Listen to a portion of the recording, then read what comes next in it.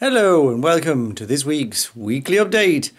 Yes, it's been an expensive week this week as I went off to uh, have my eyes tested, which resulted in uh, new glasses as I knew I was going to do, and because I have a sort of not very normal prescription, um, uh, that rushed me £591. Yes.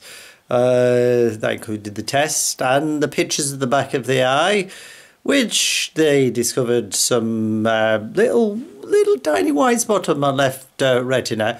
Uh, to which I've now got to go and see the doctor because um, it can be one of three things: a bit of muck, hopefully, probably not, uh, and either caused by diabetes or uh, uh, high cholesterol. Now, I went to Boots and got myself a cholesterol test, um, and that came out at 4.6. So that's sort of normalish, but of course, it's not as accurate as a lab test. So we'll see what happens when uh, when I eventually now chase the doctor down to go and get a blood test. Um, so that'll be fun. And um, uh,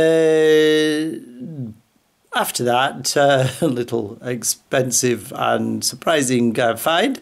Um, at the weekend, I uh, went to do a roundhouse. I uh, got myself a uh, one of the nice new hoodies. Um, so um, uh, at least I uh, don't freeze dress. Very nice. It's sort of grey um, with volunteer written on it. Uh, uh, at least at least it keeps me warm. Um, and that was to see the that was to work on the Jesus and Mary chain gig, which was very good indeed. And um, on Sunday, uh, got up very early and um, went off to uh, the um, uh, to do a walk in the Chilterns. Went right to the end of the Met Line uh, to Chesham. Uh, never been there before.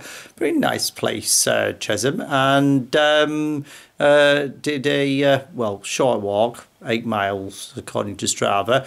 Um, normally the six, but I suppose extra special. But it was pretty darn cold, uh, like uh, it seems to have gone at the moment. Um, but I suppose that's winter for you, is it not?